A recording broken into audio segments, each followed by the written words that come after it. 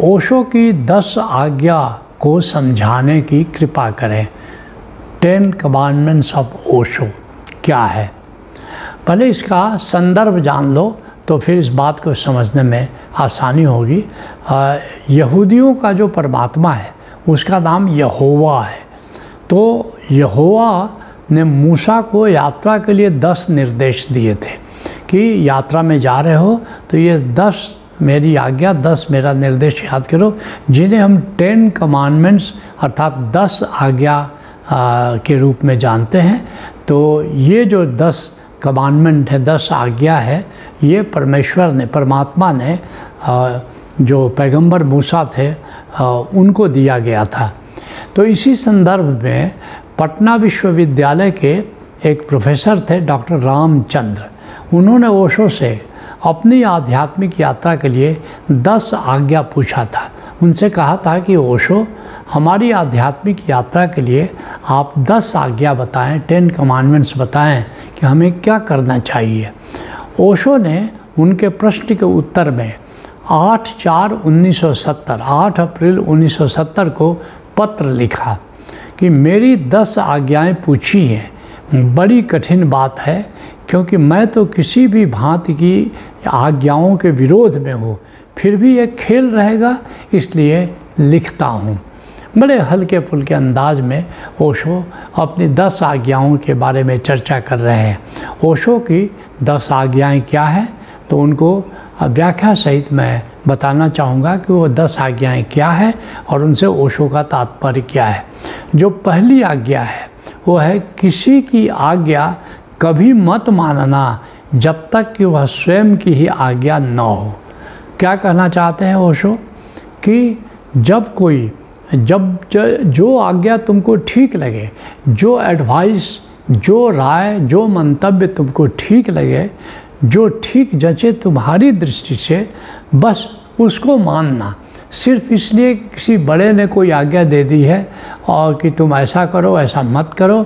और चूँकि किसी बड़े ने, किसी बुज़ुर्ग ने ये बात कह दी, चाहे वो कोई भी हो तो उसको तुमने, तुम आँख बंद करके अंधविश्वास में उसको पालन करना शुरू कर देते हो। नहीं, पहले उस पर मनन करो उस पर विचार करो और तुमको ठीक लगे कि बात तो ठीक लगती है। कम से कम तुमको हाइपोथेटिकली ठीक लगना चाहिए। तुमको लगना चाहिए कि हाँ करके देखते हैं, करके देखते हैं, ये ठीक भी हो सकता है, नहीं भी ठीक हो सकता है। इसको कहते हैं हाइपोथेटिकल ट्रस्ट एक होता है कि अब तुम्हारा अनुभव हो गया, उसको कहते हैं रियल ट्रस्ट तो हाइपोथेटिकल एक ट्रस्ट होना चाहिए कि देखने में ठीक लगता है, मुझे भी ठीक जमता है। ये सलाह मानने लायक है। तो हम मान करके देखते हैं इस रास्ते पर चल करके देखते हैं। जैसे तुम आए और पूछते हो कि क्या आ, हमें ओशो धारा का कोई कार्यक्रम करना चाहिए? हम कहते हैं कि ऐसा करो ध्यान योग कर लो। अगर बात जचेगी तो तुम आगे कार्यक्रम करना नहीं जचेगी तो छोड़ देना। तुम कहते हो अच्छा हम करके देख लेते हैं। क्योंकि अगर तुम आँख बंद करके मान लेते हो बिना जाने मान लेते हो तो ये भी गलत है। और अगर तुम बिना जाने, बिना प्रयोग किए इनकार कर देते हो तो ये भी गलत है। तुम इस बात के लिए केवल तैयार होते हो कि हम प्रयोग करके देखते हैं। अगर बात जचेगी, हमको लगेगा कि इससे हमारा विकास हो रहा है तो हम इस रास्ते पर चलेंगे। तो जब ओशो कहते हैं कि मानो मत, जानो कि एक जगह बहुत सुंदर बात कहते हैं वो कि मानो मत, जानो। किसी बात को मान मत लो, बल्कि उसको जानने की चेष्टा करो, और जब तुम्हारे अनुभव में वो बात आ जाए तो निश्चित अपने जीवन में उसको अपना लो।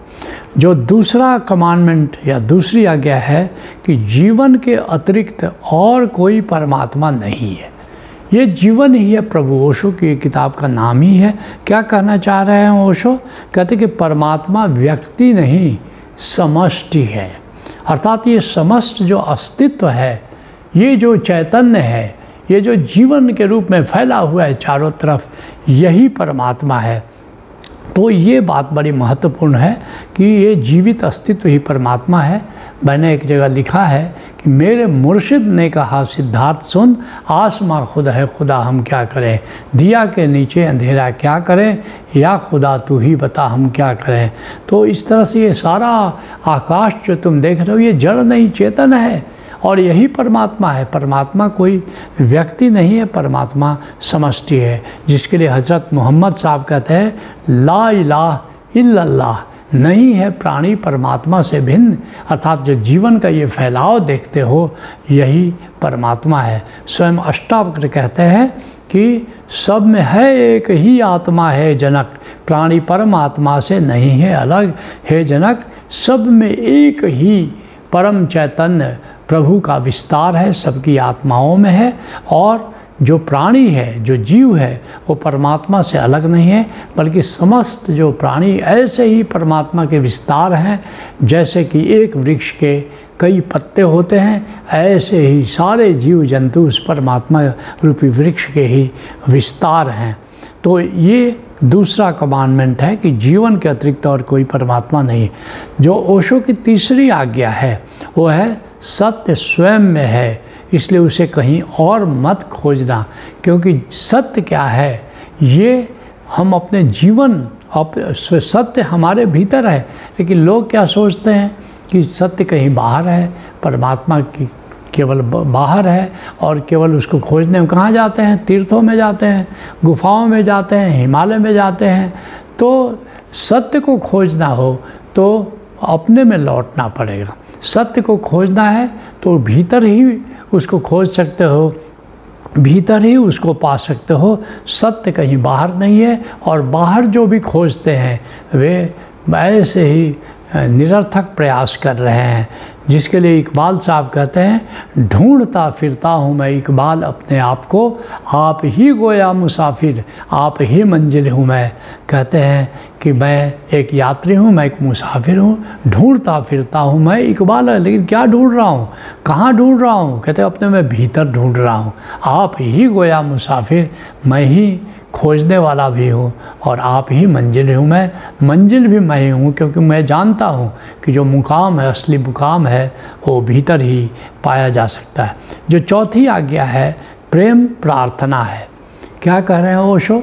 कि ये मान्यता प्रार्थना नहीं है, ये ये याचना प्रार्थना नहीं है, बल्कि ये जो प्रेम है, ये जो अहोभाव है ये असली प्रार्थना है। इसलिए अहोभाव से सहयोग का निवेदन, प्रार्थना है। याचना प्रार्थना नहीं, सामान्यतः लोग प्रार्थना के नाम पर याचना करते हैं। एक कवि कहता है, संवेदना हृदय में न होती तो हृदय पाषाण हो गया होता। मधुरिमा कंठ में न होती तो शब्द विष्पान हो गया होता। वासना प्रेम में न होती तो प्रेम वरदान हो गया होता। याचना भक्ति में न होती तो भक्त भगवान हो गया होता। तो भक्ति से याचना को हटा दो तो फिर भक्ति परम सत्ता की ओर, परमात्मा की ओर ले जाती है। जो पांचवा कमांडमेंट या पांचवी आज्ञा है, शून्य होना सत्य का द्वार है। अर्थात शून्यता ही साधना है, शून्यता ही साध्य है। और शून्यता ही सिद्धि है। इसलिए कह रहे हैं कि शून्य होना सत्य का द्वार है, अर्थात शून्य कब होते हो? ध्यान में होते हो। तो ध्यान ही सत्य का द्वार है, ऐसा ओशो समझाते हैं। जो छठी आज्ञा है उनकी, जीवन है अभी और यही। कि जीवन कहीं भविष्य में नहीं है, जीवन कहीं अतीत में नहीं है। सामान्यतः हम अतीत के बारे में सोचते हैं या भविष्य के बारे में सोचते हैं, लेकिन जीवन अभी बहता चला जा रहा है, बहती नदी की तरह। तो जीवन अभी और यही है। आनंद गीता में हमने लिखा है, जीने को हरदम मिला एक क्षण है, अगर तुम सुखी हो तो जग वृंदावन है। एक ही क्षण जीवन में मिलता है, ऐसा ओशो गीता में हमने लिखा है। तो ये ये इस पल जीवन बहता चला जा रहा है। तो इसलिए ये जो जीवन है, इसको अभी और यहीं खोजो, यहीं और यहीं इसके प्रति जागो। सातवीं आज्ञा है कि जियो और जागे हुए जियो। सामान्यतः लोग जीते, जागे हुए नहीं जीते हुए, सोते हुए जीते हैं। संत कहते हैं, जग जग करते जुग गया, जगा नहीं को बार। सारे संत हमें जगाने के लिए आते हैं, लेकिन हम जागने को तैयार नहीं है। दरिया साहब कहते हैं कि दरिया, सोया, सकल जग।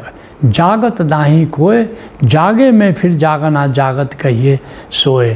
तो जियो और जागे हुए।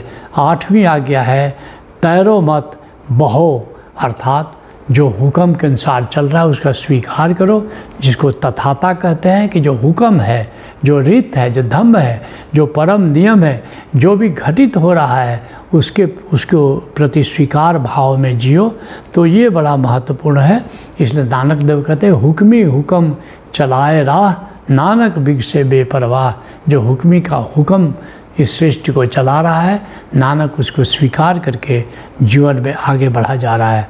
उसका नौवीं आज्ञा है कि मरो प्रतिपल, ताकि प्रतिपल नए हो सको। सभी संत कहते हैं कि जाग करके जीवन जियो जिसके लिए गोरा कहते मरो है जोगी, मरो, मरण बड़ो है मीठा, अस मरनी मरो, जस मरनी गोरख मर डीठा, जीवित मरिए, भौजल तरिए, और जीते जी कैसे मर सकते हैं?